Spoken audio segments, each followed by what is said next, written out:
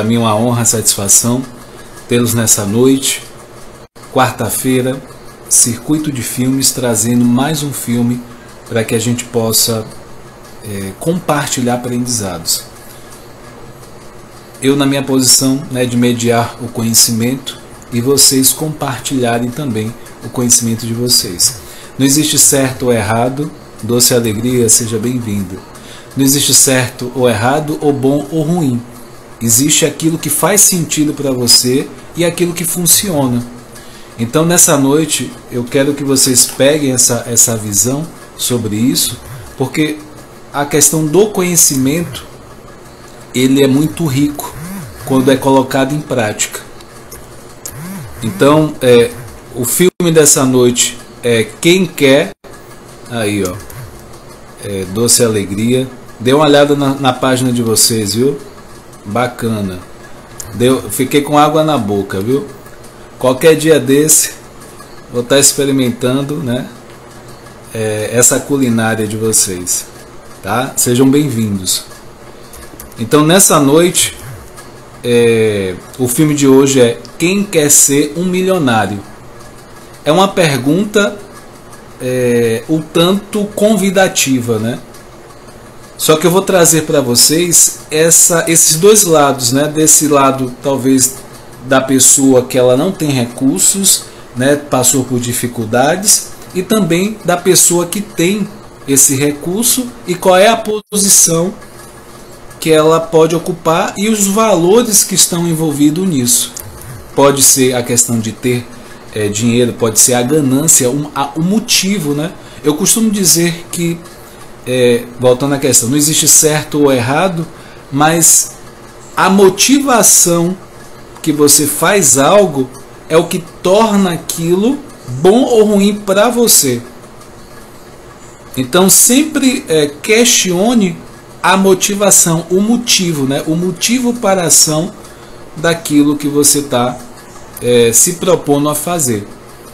Então esse filme é bem interessante né, esse contexto traz a realidade do, da Índia.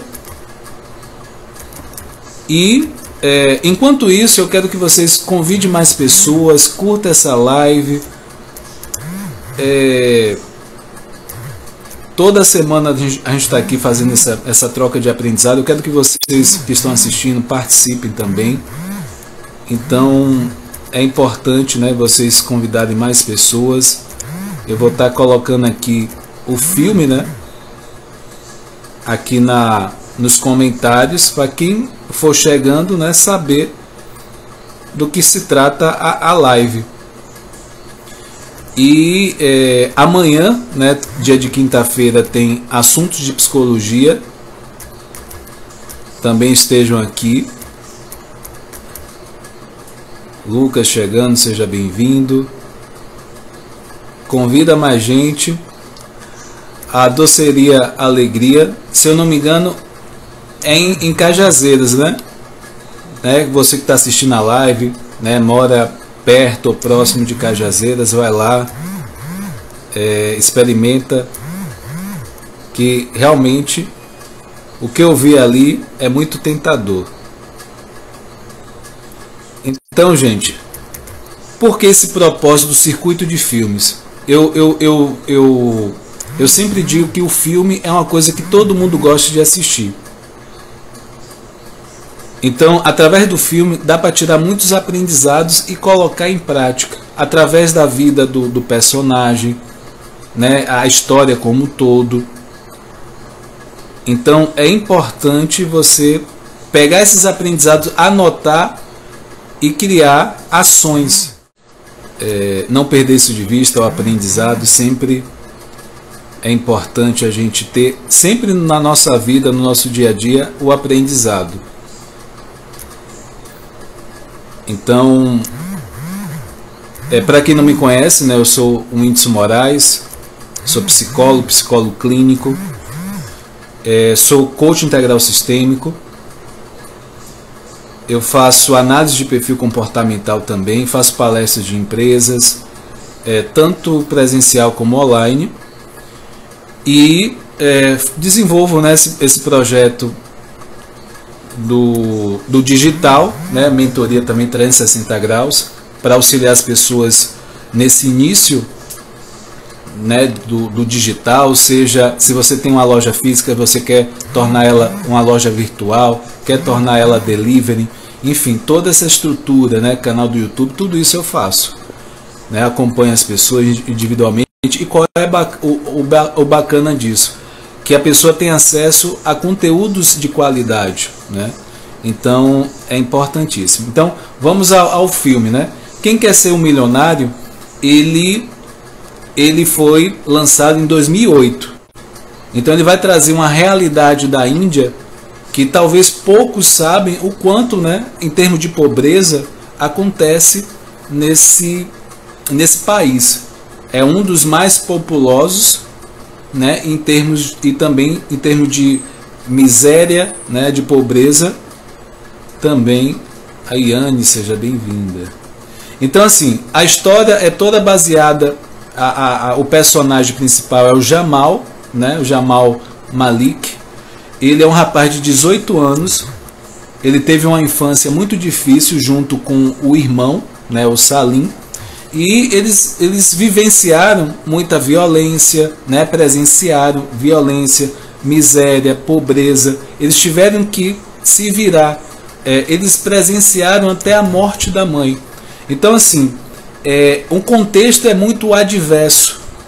A gente pode pensar que essa realidade poderia favorecer, talvez para levar a um caminho ruim. A gente vai ver que os dois personagens, né?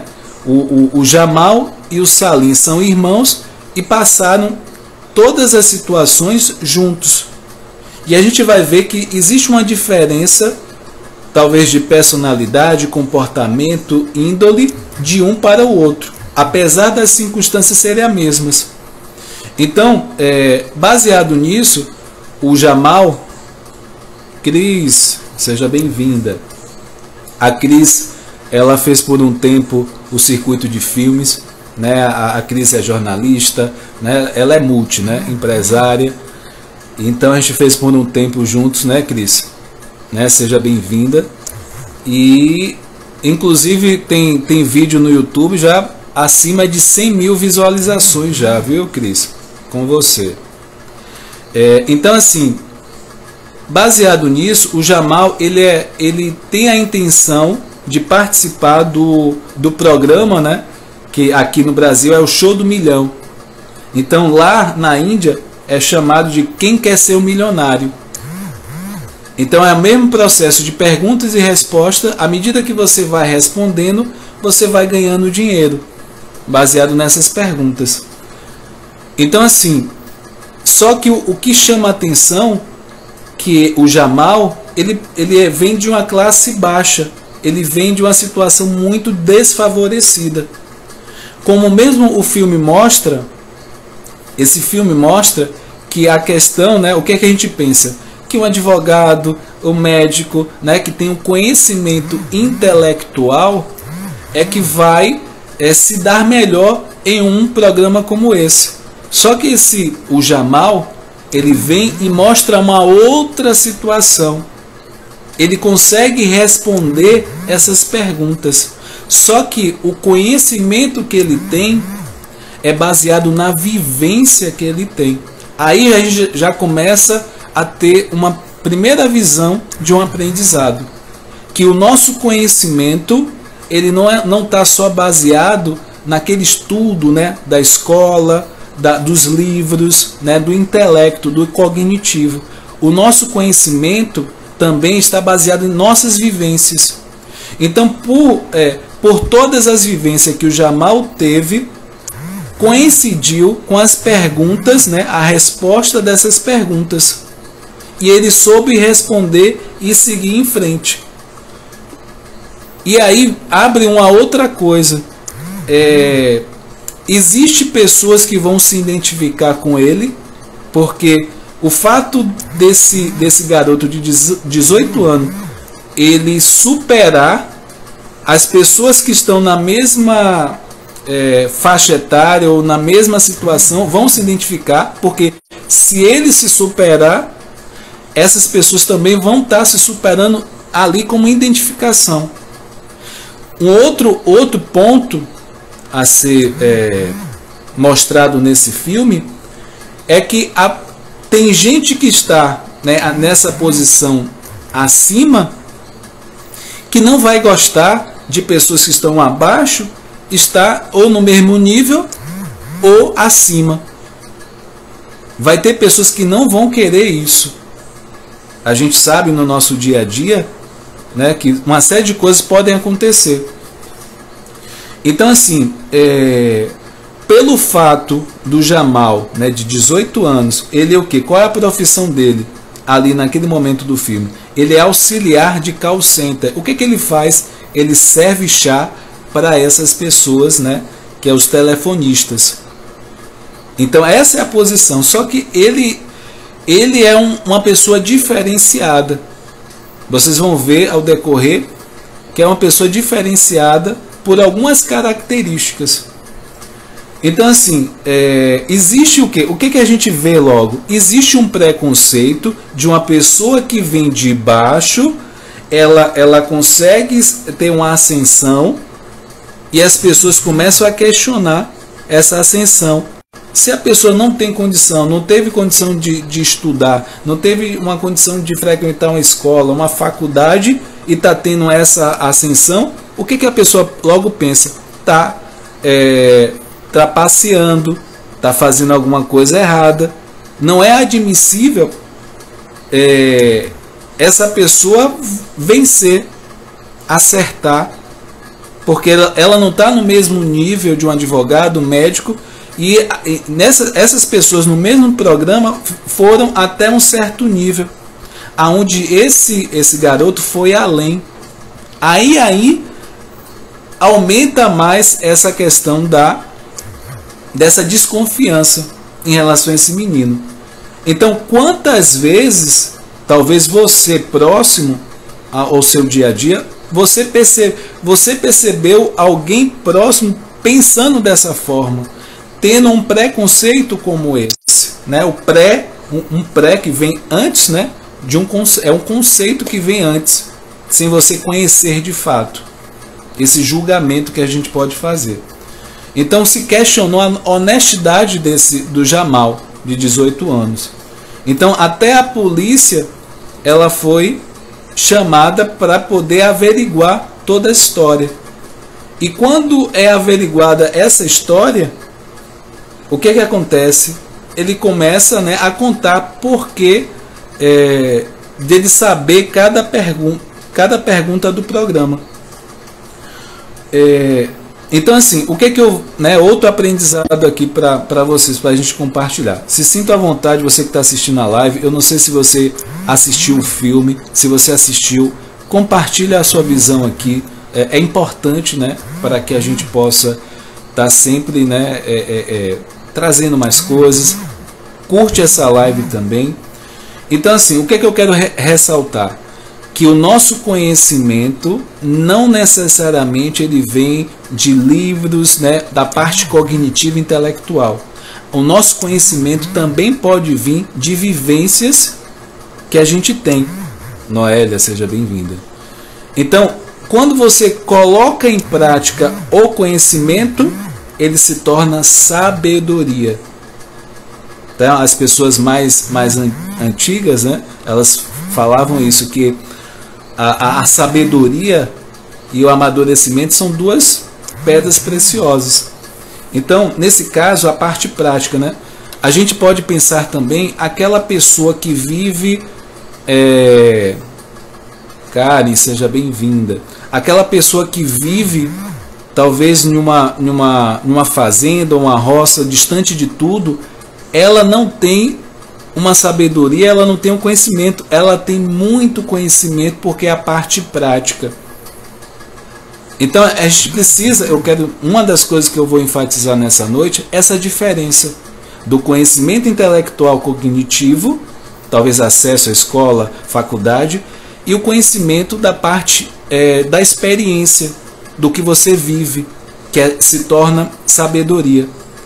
Então a gente precisa estar. Tá, e quando se fala de, de dinheiro de poder é, é, econômico, a gente pode talvez levar essa coisa do cognitivo intelectual muito mais em evidência ou mais importância e esquecer um pouco esse conhecimento em termos de experiência.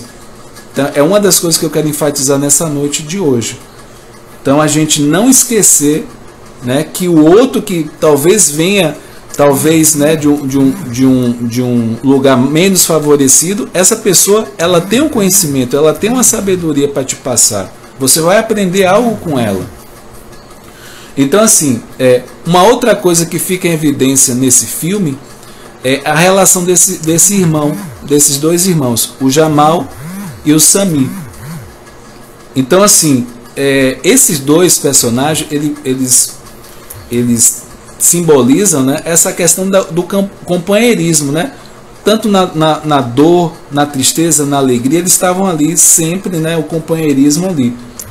Algum momento, né, como eu falei, apesar da, da semelhança de experiência, um tinha uma tendência, é, talvez, a, a parte marginal da coisa, né? E o outro, ele conseguiu se manter mais honesto, ele querer se, é, se dar bem com as pessoas, estar bem com as pessoas.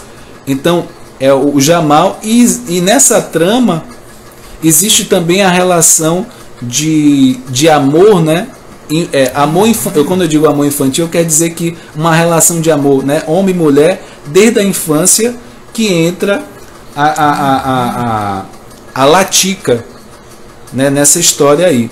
Então ela traz ela traz essa né, junta a isso, né, essa, essa, essa relação a três aí, né, não, não, não é que acontece uma relação de fato a três, mas sempre está é, nesse filme a boa parte nessa relação. E aí o irmão, em algum momento, ele fica até com ciúmes dessa relação, porque tem um momento que ele, o, o, Jamal ele passa mais tempo com a, a Latica. E aí é bem interessante como desenrola isso no filme, porque ele, o, o Jamal sempre está acreditando nessa, nessa relação amorosa que é, é, na visão dele está escrito, né? Porque a, a, Índia tem a questão religiosa e eles falam que está é, é tá escrito, né? Quando você nasce, tudo já está pré-escrito que vai acontecer. No caso dessa relação amorosa entre eles, o Jamal ele acreditava nisso e até bonito no filme, apesar de tudo que eles passam, né, da realidade que mostra, da, via, da violência que o, o, a Índia ela passa, né, a, a, a, a briga entre é, religiões, né, há uma, uma disputa ali, né, é, um ataque entre eles. Então, assim, tudo isso acontece. Então é importante a gente trazer é, e eles, eles acabam se, se virando na rua, né? Questão de roupa, comida, né? A gente pode pensar que ah, eles estavam roubando de pessoas, mas ali era sobrevivência. Só que apesar desse desse desse roubar para sobreviver em alguns momentos, o, o Jamal ele tinha um coração bom, e já o, o, o Samir, ele, ele já tinha uma tendência à marginalização. E tanto é que no filme ele acaba se direcionando a esse, a esse caminho. O Jamal não. Então, assim, é importante a gente perceber essa realidade é, parecida, mas atitude, comportamento, é, personalidades e para caminhos distintos a gente pode, né? Então, volta à questão, o fato do da vivência que você teve desfavorável não justificaria é, a pessoa seguir um caminho que não seja certo. É parte muito, né? Talvez das circunstâncias, da, da educação, uma série de, de, de, situações vão de fato é, determinar isso. Então, é, Então, assim, essa, essa questão de você. O, o filme ele mostra momentos né, difíceis, Só que o filme ele mostra que esses mesmos momentos difíceis ele tem um aprendizado. Esses momentos difíceis lá na frente eles vão servir para você crescer cada vez mais na sua vida.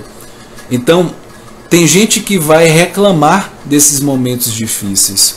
Tem gente que vai se culpar por esses momentos difíceis. Tem gente que vai é, ficar preso a esses momentos difíceis. Só que em vez disso, qual é a sua visão? Aprender. O que é que eu posso aprender com isso? E no momento que eu tenho esse aprendizado, eu trago esse aprendizado que vai ser o que? Meu alicerce para situações lá na frente. Vai ser o, o, o trampolim que vai me servir para crescer lá na frente. É assim que a gente precisa é, enxergar e ver nessa direção. Então, assim, esse filme ele mostra isso. Essa ascensão, né? Todos os momentos que o Jamal, de 18 anos, ele passou, serviu para cada resposta que ele deu no programa e ele conquistou, né, 20 milhões de rúbios, se eu não me engano. Então, assim, é, o que que torna o Jamal ele especial? Primeiro, ele é muito versátil. Durante o filme, ele faz muitas coisas ele se vira né, é, é, naquele, no dia a dia, ele é muito persistente, ele é persistente no que ele quer, ele é persistente nesse, nessa questão desse amor né, é, infantil né, em relação a, a essa a, a Latica, desde sempre, mesmo com 18 anos, passou o tempo, ele ainda manteve esse sentimento. Então, e acreditar nos seus sonhos. Então, da mesma forma, eu, você que está assistindo essa live, é, a versatilidade é uma coisa que pode te possibilitar você é, ter esse é, é, ser especial, essa questão da persistência, acreditar no, no, no, nesse, nesse seu sonho, isso torna você especial, diferente. E, como eu falei, a, a vivência desses irmãos, apesar de ser é, assim, forem é, é, parecidas, vivenciaram a mesma coisa, mas tomaram decisões diferentes. No momento que o, o Sami ele, o, o, o, ele foi para uma direção né, do, do, do algo ruim, da marginalização, há um, um distanciamento desses irmãos. Então, nesse momento, fica muito claro a diferença, mas também existe a cumplicidade deles, o companheirismo. Apesar de alguns momentos, esse irmão, né, é, é, é, não é Sami, é, é, é Salim. Esse Salim, ele faz algumas coisas que não são muito legais. Ele usa até do, abusa até do poder de ser mais velho em relação, né, em relação a Jamal. Então é muito interessante a gente entender isso, que a, a gente, o que a gente vivencia influencia, da onde a gente vem influencia, mas não determina o que a gente vai ser. Então, se você teve uma, talvez você vivenciou né, é, é, é, é situações de violência, é, é, questão de talvez tiro né, de um lado para o outro, né, isso o tempo todo, ou então você, pessoas de má, má índole, você vivenciou próximo, não quer dizer que você também é, vai se tornar. É um ambiente muito propício para, mas não é o determinante, mas sim a sua atitude, a sua decisão diante daquilo, diante da sua vida, né, que vai determinar essa, esse seu futuro, o presente e o futuro. E uma coisa muito interessante nesse filme é a questão do amor e a empatia. Amor e empatia que o Jamal ele traz é, acima, né, acima da ganância. O motivo que ele entra na, no programa é, Quem Quer Ser o Milionário, que seria a, a versão indiana, né, e aqui no, no, no Brasil foi o Show do Milhão, que o, o Silvio Santos é, fazia. Então ele tem a, o motivo maior não foi o dinheiro, foi a questão de encontrar a latica. Então, nesse sentido, é, eu coloco para vocês que às vezes essa questão né, do dinheiro é muito convidativo, né? Quem quer ser um, um milionário, né? Muita gente vai levantar a mão. Agora, qual é a motivação disso? Né? O que está acima, né? Disso.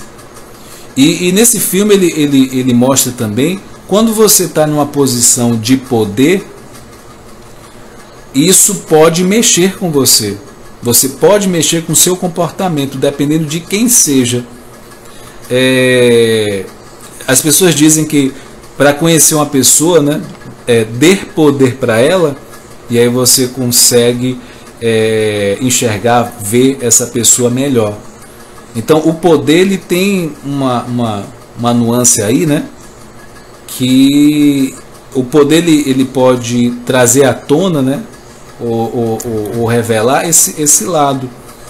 Então, da mesma coisa o dinheiro, né? Ah, o dinheiro muda as, as pessoas? Não. O, o dinheiro ele só ele traz é, à tona, né? Tudo aquilo que já existe. Não transforma as pessoas o dinheiro e nem o poder, só traz à tona. Talvez na situação que ele ou quem seja, né, não tinha a condição de mostrar. Por uma série de questões, ele não poderia mostrar. E aqui está falando, né? Sonhar sempre nos preenche. Então assim, é, é importante a gente sonhar. O Jamal ele sempre, ele sempre sonhou, sempre acreditou. E isso é bem bacana a gente trazer e enfatizar nessa live de hoje. E você também sempre acredite no seu sonho, acredite no que você realmente é, é, é, tem como objetivo também e persistir. O Jamal ele persistiu. O quanto é importante. Eu, eu trago isso para a minha vida o quanto eu persisti em projetos, o quanto é, funcionou isso. É, o dar resultado pode não sair, talvez inicialmente, do jeito que eu imaginava, dentro do meu ideal, mas existe um tempo de maturação.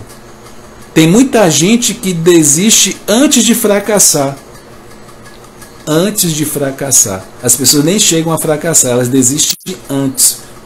Então é importante a gente ter essa visão de persistência também.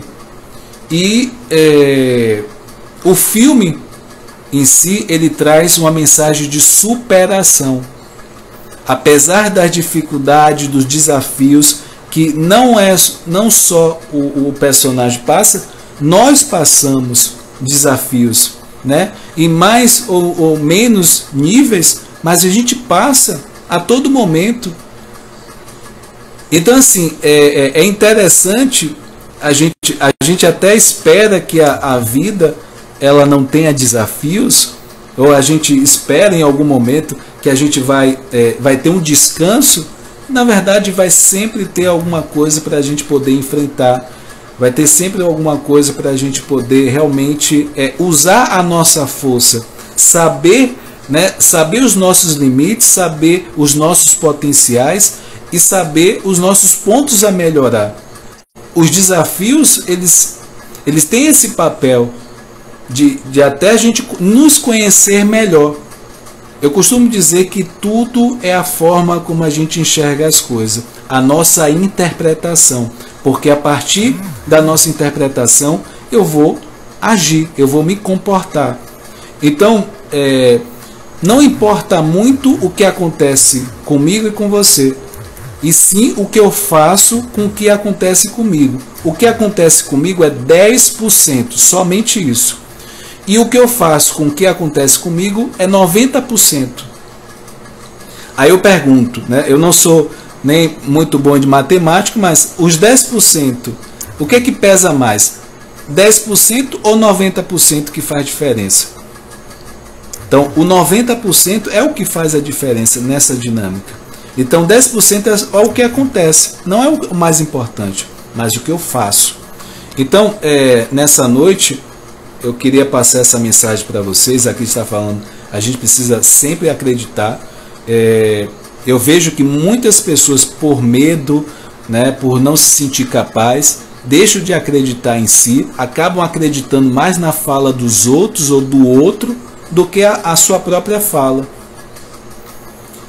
E se você acreditasse só um pouquinho em você, com certeza você começaria a ter resultados diferentes na sua vida, seja no seu trabalho, na sua família, na relação amorosa, no casamento, é, nos amigos, na vida social. Você só precisaria acreditar só um pouquinho mais em você. Você começaria a perceber diferença na sua vida.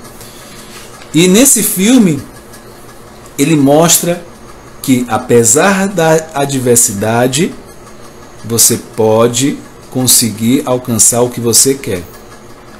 Não importa muito o que aconteceu com você, mas o que você tem, o que você está vendo, o que você está projetando, você tem o potencial de construir a vida que você quer levar.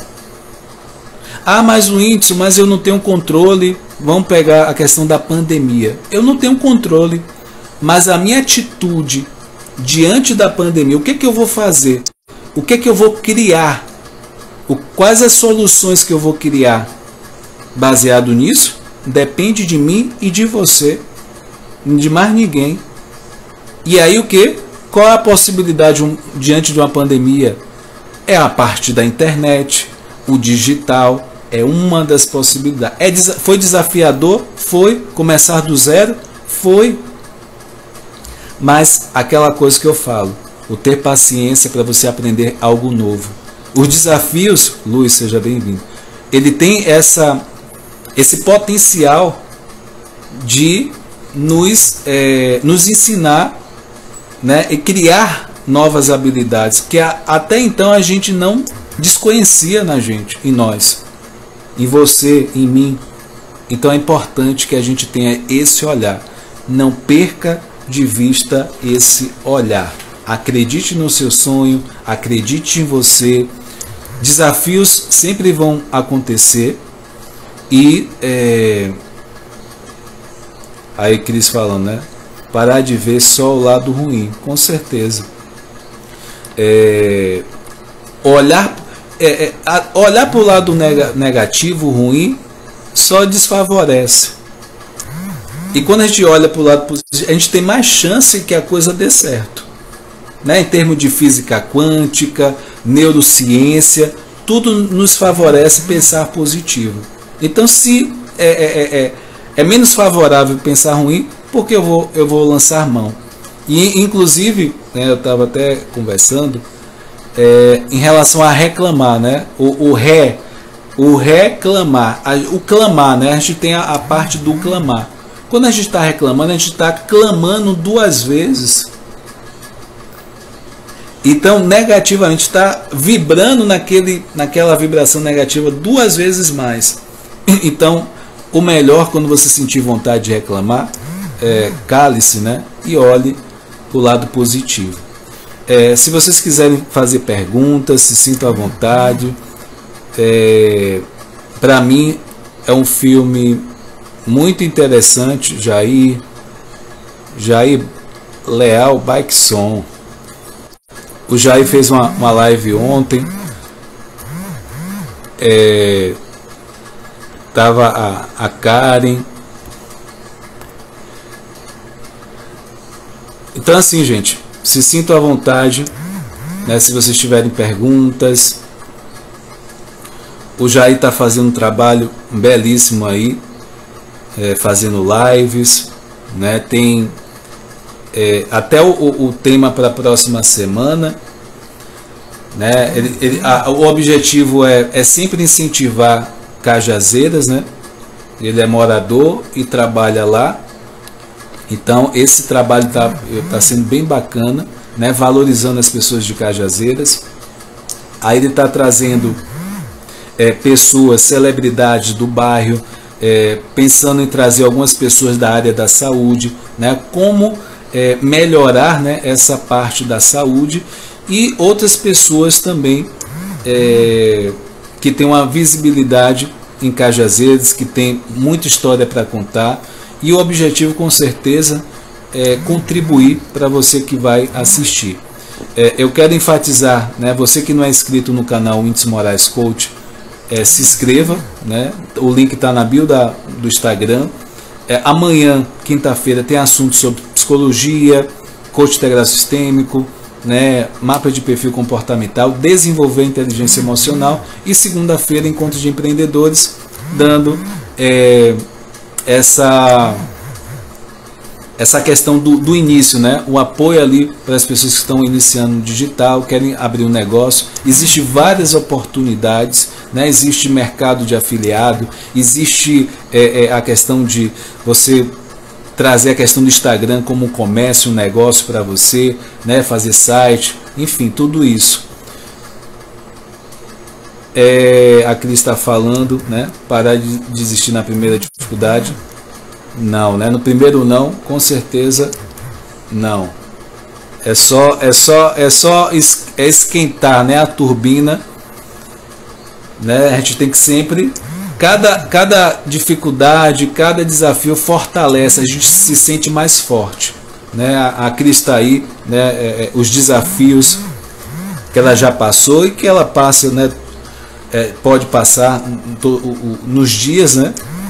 mas é, como a, a, mulher guerreira que ela é, sempre passa, sempre está mostrando, e é uma, um exemplo, né, a Cris aí, um exemplo de mulher, um exemplo de força, com certeza, para muita gente.